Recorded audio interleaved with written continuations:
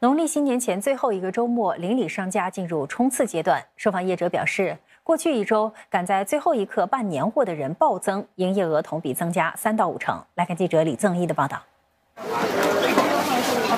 后港村星期天上午人潮攒动，有的赶着买橘子和柚子过年，有的则在烈日下悉心挑选盆栽。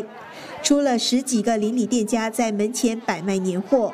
广场内还设有八个临时摊位，气氛相当热闹。出乎我意料，我没有想到今年会比去年还多人。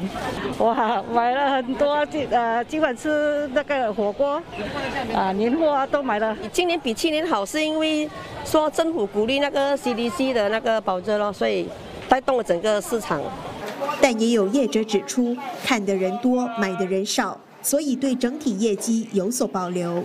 很慢呢，市场很慢，连后一两天也是没有什么购买力的，可能就是减少了，减少二三十八千这样了。在邻里购物其实比较方便，原本我们是要搭一个大型的帐篷，那么方便大家排货，但是有关当局不批准，反而规划成一部分的小的呃篷布，那么方便人流。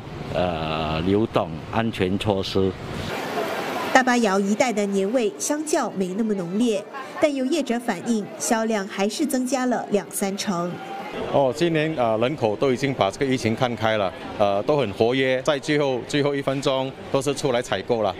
不过，大部分的邻里呢，只有零星的几家店在售卖年货。由于人潮不多，购买量也不是很大。有店家表示呢，手中的货卖的差不多之后，就提前两天，也就是星期五收摊，决定不冲最后一分钟的生意。新传媒新闻记者李增义报道。